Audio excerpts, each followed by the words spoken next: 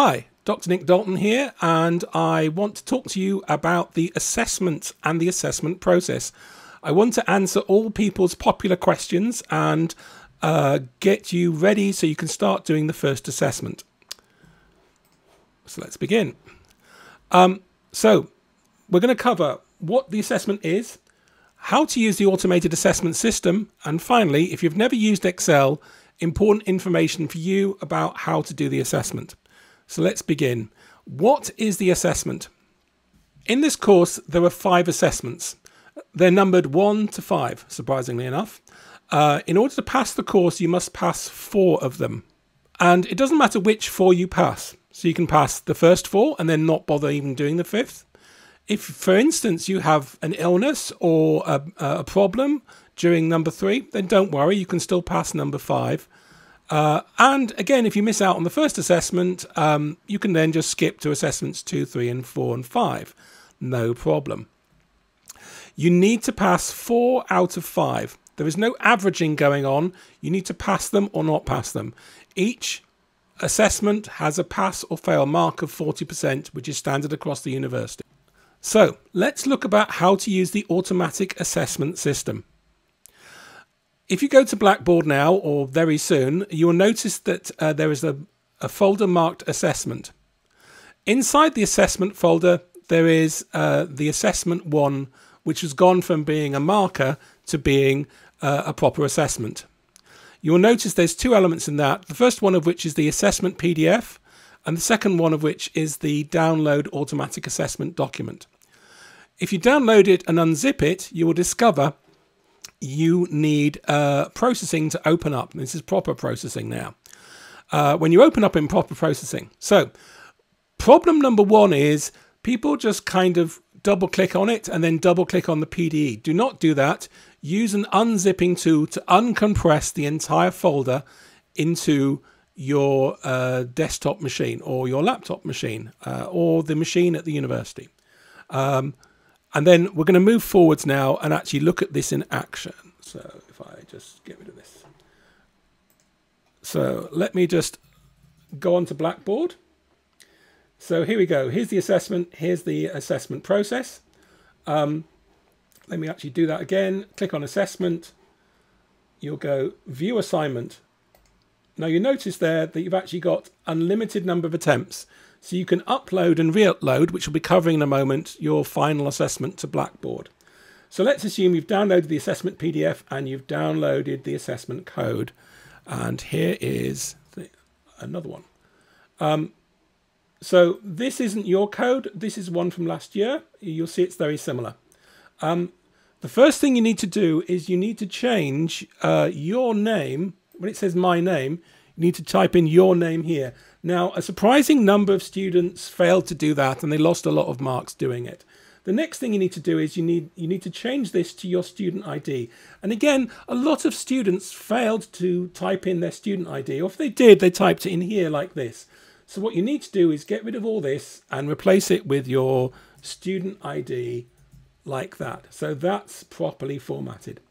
Um, the next thing to do is to then to begin to look at the questions. Uh, now, if you look at your assignment, it's all here like that. So it's the same sort of thing, same setup. Uh, once you've typed in your name and your user ID, you can then move forwards. Um, you can always begin with question number one.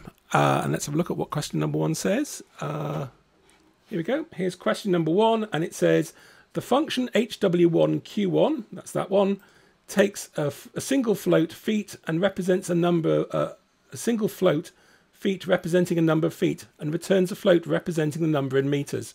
Write code that converts meters to feet. The conversion factor for meters to feet is thing. Now, this question is designed to be very simple to begin with. So all we have to do here is to go uh, return feet times 0.3048. Uh, now, you might be thinking that's a very simple question. Um, if you've done A-level computer science, you'd be rolling your eyes at this stage. But the important thing is to get you used to using this system. And again, we'll come to uh, a group of important people who might find this a bit tricky. Once you've done one question, you can actually see if it works. So we run it. And if you look at the bottom of the screen down here, you can actually see uh, it tells me that the mark is correct. So basically here I can actually see if the question is wrong, correct or incorrect. Now, supposing I made a mistake, uh, whatever.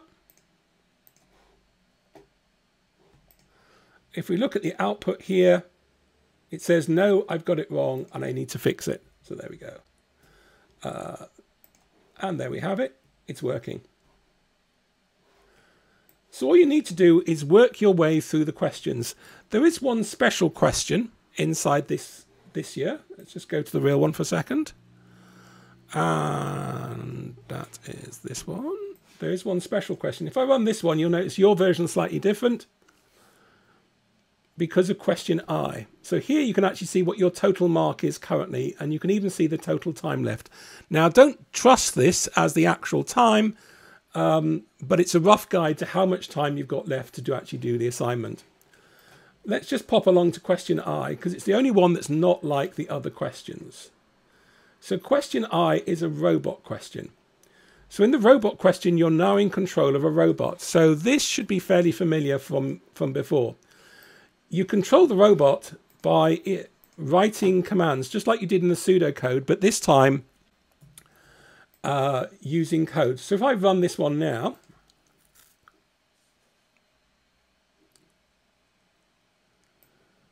you'll see the robot has begun on the red spot and we need to get to the other red spot. So what we're now going to do is go robot dot forward. There we go. And these are all the commands the robot understands. Uh, forward, turn left, turn right, and dig.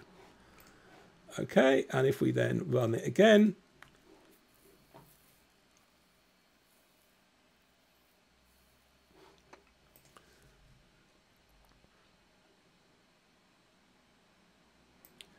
you've noticed that I've got two marks just for getting off the starting point. So of course you need a lot of code, so let's just do one more line. I'm going to go turn left. So there you go, there's turning left. Stop. Let's turn left.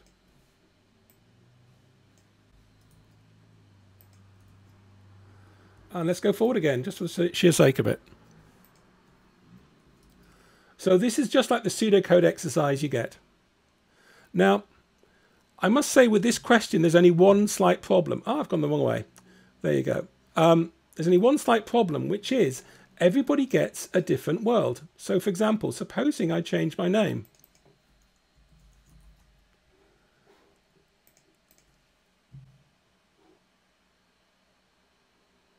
You'll notice this world is completely different from the previous one. So everybody gets their own unique pattern to get through. Okay, so let's assume you've gone all the way through the exercises and you've got your result. How do you actually submit your result? Well, the first thing you need to do is to scroll down to the bottom.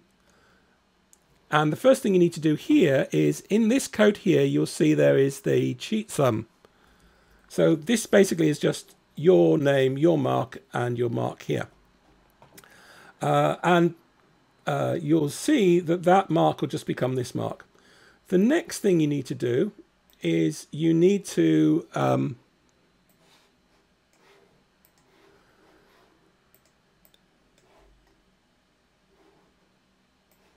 drag your code into this file here.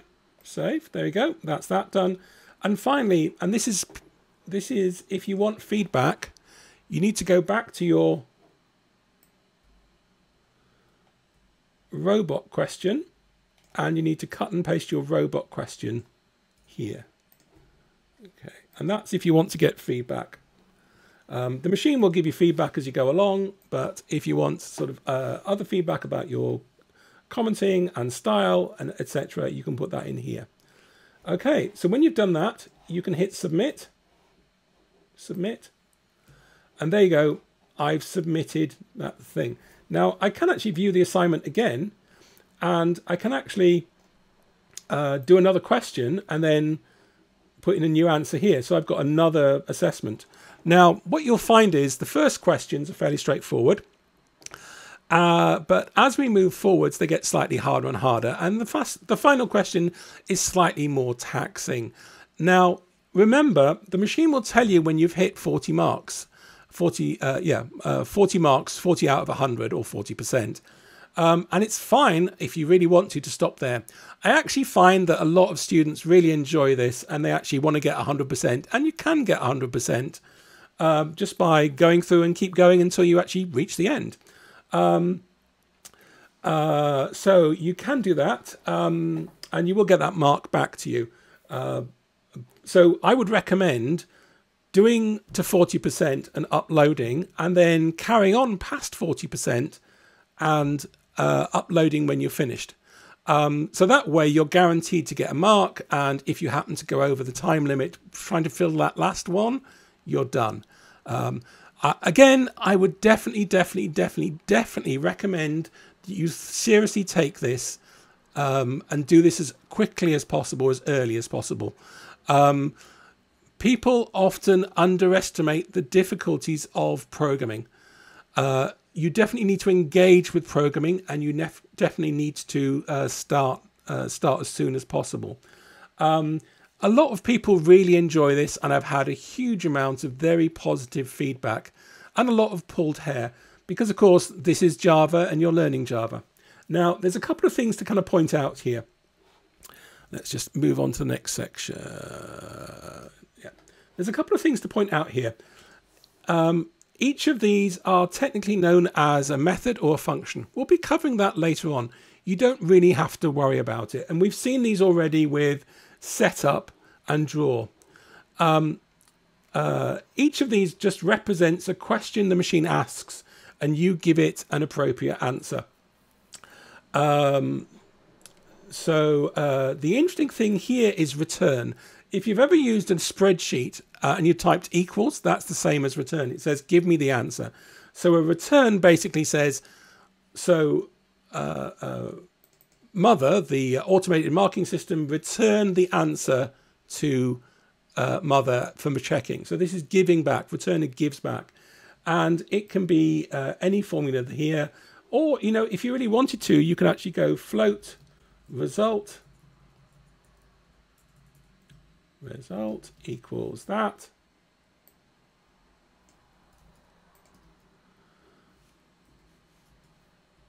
Semicolon, and then you can return the result. Now, what's nice about this is you can do this in any way you like. You know, you could actually go 3.4 times feet if you wanted to. We don't care about how you achieve the results. Now, this is an important step forward because uh, when you're working in industry and when you're working for real with really important projects, the first thing you do is you write what's known as a unit test. And a unit test is software that tests the software.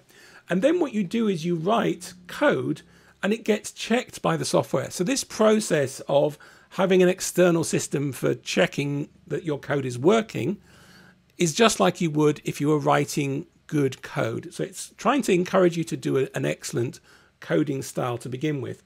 It can be slightly frustrating if you uh, get things wrong. But again, this is about trying to uh, achieve a perfect result from an imperfect human being. So there will be a little work applied. Okay, so we've done the process, we've done how to uh, do the assignment, and we've done the process of cutting and pasting the mark into the thing. I've only got one final thing left. Um, how to, uh, if you've never used Excel, important information. If you've ever used Excel before, the next section is largely irrelevant, but it's very important in terms of doing the kind of operations we're going to be doing in the assessment. Uh, the reason I'm talking about this is because uh, I often get many students um, um, in sort of week six or week seven, and you say, okay, write in uh, return, uh, you know, print line, print line, um, four by five, multiply four by five. And the first thing they will do is they'll uh, multiply, multiply. Well, let's go add four, add five. And you ask, say, type in four multiplied by five, and they type that in. And they go, oh, professor, it's not working. It's like, ah, well, yeah, you need to use numbers. They go, okay, go four and five. It's like, ah, yeah, okay, let's do that. Four and five, no. And, like, um, and then you go, I need to use a symbol. That's fine. Four plus five. Okay, fine, great. Oh, and now it works and it comes out. And they go, oh, God, isn't Java so hard? Because I typed in four add five and it didn't work. But if I use this plus symbol, it was, does work. That's so frustrating. And then later on, you say multiply 4 by 5, and they type in this. And it goes, oh, uh, oh what's going wrong? Uh, it's not working. And it's kind of like, uh, and then, then, you know, obviously in the real labs, we could look over your shoulder and go, ah, okay, there's a problem here. Because if you want to multiply a number together on a computer, use star, which is shift 8 on the average keyboard. And this uh, then multiplies 4 by 5. Now, if you've ever used Excel, that's not going to be a problem. And as you can see down here, the result is 20. So this works properly. And equally, for division, you don't use divide. That won't work. What you use is slash. And again here, and if you notice here, I've done 4 divided by 5, and this is integer numbers. But if I do um, 40.1 divided by 5, I'll actually get a fractional number out. And that's because if you say 4 divided by 5, well, you know, you can't divide 4 by 5 in a round number, so that's 0. If you do if you do 6 by 5, it rounds it to the nearest integer. If you want to do a fractional number, 6, you need to put the decimal point in. And then it goes, oh, you're using decimal points. Now I can give you a more accurate answer. So there's a difference between integer numbers and decimal numbers. So that can be a bit of a gotcha in the thing. So let's just go through all the sort of symbols you're likely to need. So the first line is uh, 4 plus 5. 4 plus 5. And let's get rid of that one. That works. This plus symbol works. Print line 4 times 5. So now we're using the asterisk for multiplication. And that works. And that works across the board. It'll even work in Google. So now we can do the next one um, for minus 5. And it gives you minus 1. And if you need a minus number, by the way, like just minus 5, you can put a dash in front of it. So again, dash is a minus symbol. So let's go back to 4 minus 5. And finally, print line uh, 4 uh, divided by 5. I'm going to do 4.0 divided by 5.0 just so we get semicolon. And there's that. There we go. Now, if you've ever used a calculator, you're used to calling functions on a calculator. So you would sort of type in like, if you want to do the, you know, the square root of 4, you type in 4 and then press the square root button. Now, again, what you do inside processing, as you would do inside uh, square root, inside Excel, is you'd put in, you'd use what's known as a function. So basically, that's the name of the command, the function you want to do. You give it an argument. We'll be covering this in great detail later. And then you basically, that, that will then return the square root of 4. There we go. And that prints out 2. And again, we can put that into a variable, float. Um, let's think of a word. Any word, uh, let's call it s. Okay, s equals the square root square root of 4. Okay. Um, there are a couple of other functions like that. There's log. That's the log of 4. Uh, this is the exponent of 4, so this is uh, e, uh, e to the power 4, um, log n. So log is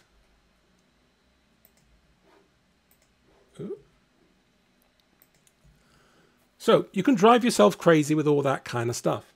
Um, so you will find when you're coming to do the uh, assessment that you will need to have these basic mathematical skills you know, we're not expecting you to understand much about mathematics. Um, but you should be able to use a calculator and you should be able to get the machine to do the things. We've kind of assumed so far you understand what plus, minus, times, divide and stuff look like. But I just wanted to be sure because I know that a small percentage of you have never used Excel. I wanted to be 100% sure that you know how to enter a formula into a computer. And the good news is this will work on practically any system, uh, including things like if you do a Google search.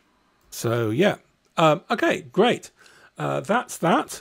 Uh, thank you for listening and uh, good luck with your assessment. And I look forward to giving lots of feedback out.